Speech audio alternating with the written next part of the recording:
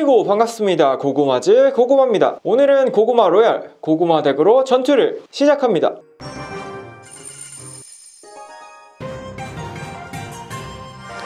13레벨 대 13레벨. 지금 첫 카드로 고두, 고블린 오두막이 없어서 발키리를 놓겠습니다. 상대의 첫 카드는 임페르노 드래곤입니다 발키리 뒤편으로 마법사를 놓도록 하겠습니다. 상대 두 번째 카드 파이어볼입니다. 파이어볼이 나왔기 때문에 바바리안을 먼저 빼주고 다음 카드는 베이비 드래곤입니다. 바바리안 통으로 바바리안과 마법사가 정리가 됐고 베이비 드래곤과 벌룬이 같이 옵니다 벌룬이 데미지를 줬고 death 데미지까지 1300까지 떨어졌습니다. 상당히 불리한 출발입니다. 시간 2분 남았습니다. 고블린 오두막을 설치해 보도록 하겠습니다.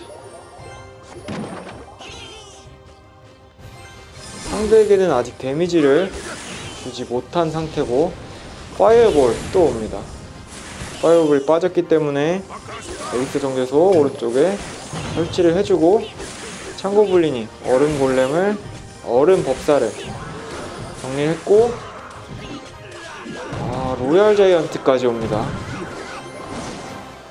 왼쪽 프린세스 타워 체력 300까지 떨어졌고 지금 바바리안 통 베이비 드래곤 호그라이더를 막고 있습니다 1900까지 데미지를 줬지만 지금 상대는 저에게 데미지를 많이 입혔기 때문에 지금 따라잡으려면 많이 데미지를 줘야 합니다.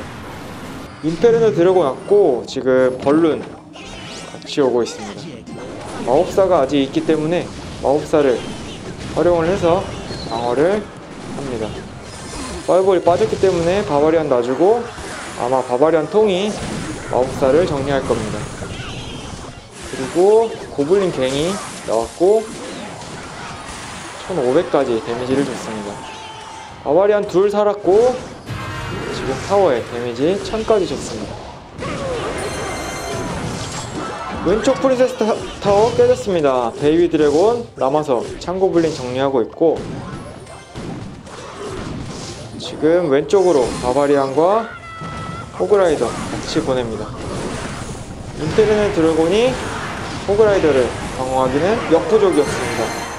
지금 1대1 동점 만들었고 인페르노 드래곤과 얼음법사 살아있는 상태고 로얄 자이언트 넘어왔습니다. 로얄 자이언트가 타워에 damage를 주고 바바리안은 파이어볼에 의해서 정리가 됐습니다 지금 마법사는 살아있고 벌룬 정리됐고 베이비 드래곤 방어 됐습니다.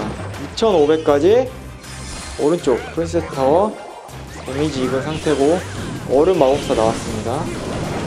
고블린 갱은 감전과 타워로 방어를 했고 2600 대 2500 지금 상당히 많이 쫓아간 상태입니다.